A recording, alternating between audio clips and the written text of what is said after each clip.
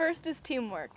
When I joined first, I didn't think I was going to be able to fit in, but once I got to the first competition, I knew that I had found my place and I had found my home and a family. Well, since like I was a newer person, what basically how they described it to me is like almost a football league of different teams, so kind of like the robotics league. So First Robotics is an organization for children and teens of all ages and it allows them to get involved into not only science, technology, engineering, and math, but any area that they are interested in and it allows them to really explore their interest in that um, by building robots and competing with them.